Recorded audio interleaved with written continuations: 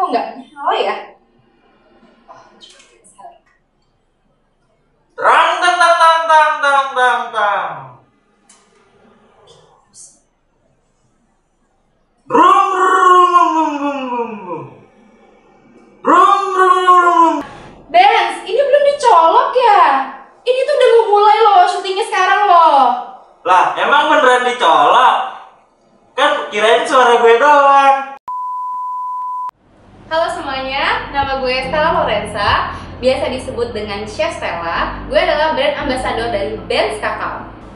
Sebagai chef entrepreneur, kegiatan gue sehari-hari adalah membuat workshop untuk gluten free cakes dan juga bergerak di bidang decorating cakes. Selain berwirausaha, gue juga punya passion untuk sharing ilmu gue melalui workshop-workshop yang gue adakan.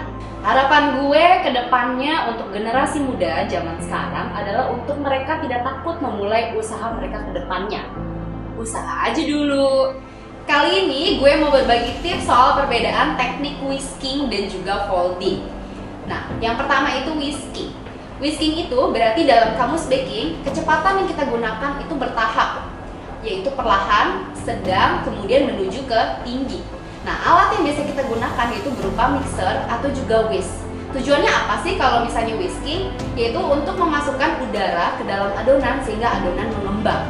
Yang kedua itu adalah folding teknik. Jadi berbeda dengan whisking teknik. Kalau folding teknik adalah kita hanya mengaduk satu arah aja dan mengaduknya itu kecepatannya perlahan aja. Nah, karena kalau misalnya kita kebanyakan ngaduk, maka otomatis udara itu akan semakin banyak ke dalam adonan. Itu bisa berakibat adonan jadi cair ataupun bisa berakibat bantet.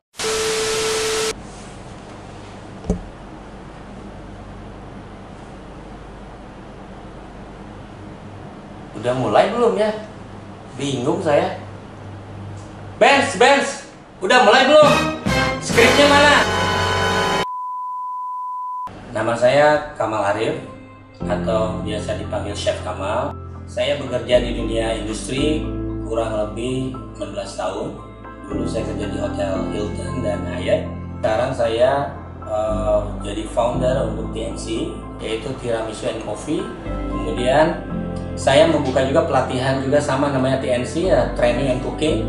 Saya merasa bahwa dengan pelatihan yang baik, dengan alat-alat yang baik, kemudian ada tutor yang baik sehingga nanti dunia kewirausahaan itu akan bisa dibuat dan bisa berkembang di daerah masing-masing.